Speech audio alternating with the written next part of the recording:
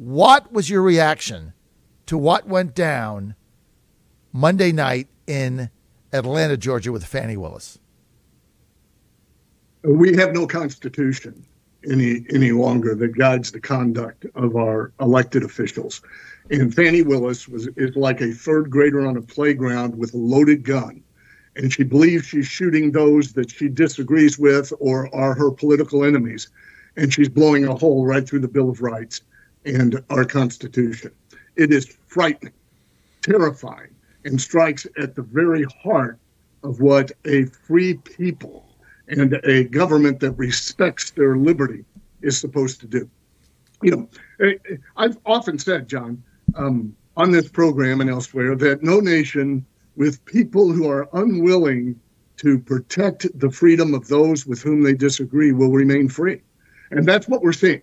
We're seeing Fani Willis, who dislikes her political opponents, unwilling to be guided by basic guardrails as it relates to the exercise of her power. We see a media, legacy media, that is more interested in hurting those that they dislike rather than being guided by truth and core American principles, piling on, failing to engage in any critical analysis of what is happening in this country, and thereby putting us in great jeopardy going forward. We, unfortunately, maybe America is getting what it wants. You know, we these charges, and and and let me look at them for a second. I'm just reading from the indictment. Act two of this conspiracy, for which all of these people can spend the rest of their life in prison, was holding a news conference and making claimed false statements. Act six is Mark Meadows asking for the phone number of the Speaker of the House of Pennsylvania.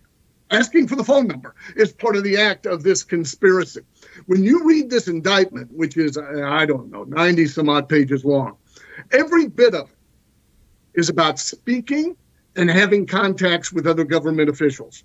None of it involves a threat.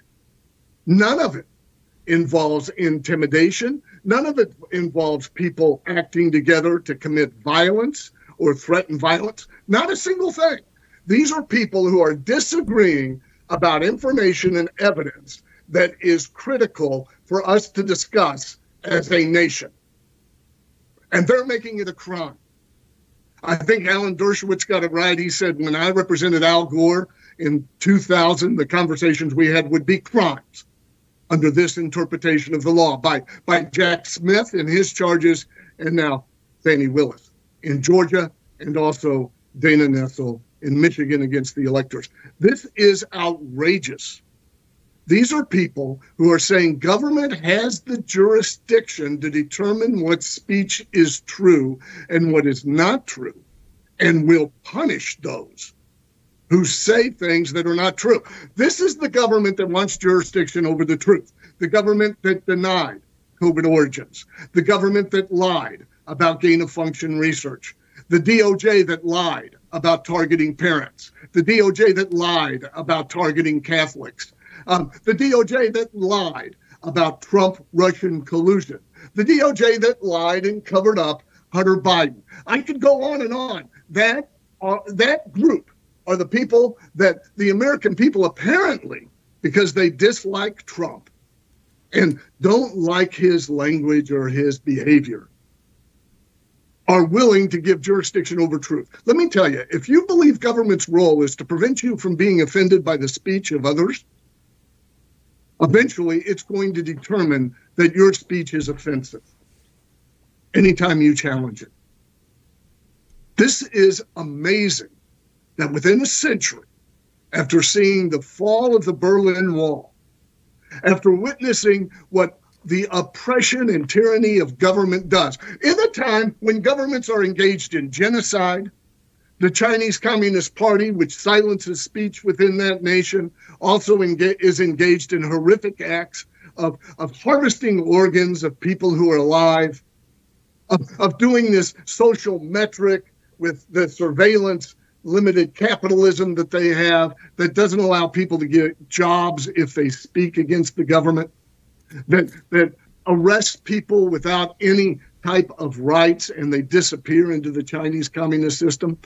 And we see the fruits of this type of thinking, and America is going this direction because of the Trump uh, uh, hatred, the the the Trump deranged syndrome that these these people on the left have.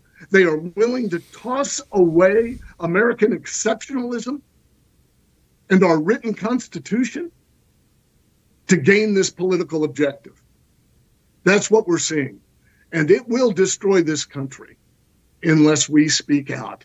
And and and that includes those who don't like Trump, those who would vote against Trump. You you could sit here and you could question the judgment.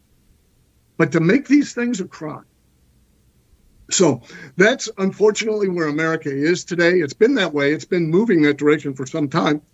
As you know, John, um, I had judicial ethics weaponized against me because I had information that they didn't want people to know about. Uh, this has been a tactic, but America generally has withstood and, and fought against this on the national scale. And I'm worried that they're not. Our, our news media is is is terrible right now. They ought to be uniformly condemning this. And and they're talking about speech. Look, this this is not limited. This philosophy is not limited to silencing Trump. Um, it will silence journalists. It will justify raids of, of newspaper offices and things along those lines. Um, it's a remarkable time we live in.